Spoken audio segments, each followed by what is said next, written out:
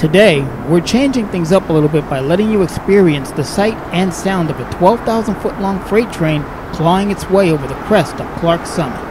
In addition to the train itself, there are two other bonuses in this video. Number 3988 is one of only two former Central Maine and Quebec painted AC 4400 CWs the Norfolk Southern bought used from CEFX Leasing to supplement its existing GE AC locomotive rebuild fleet. The other is an extremely rare sight a patched former Delaware and Hudson covered hopper still earning its keep in revenue service in 2024.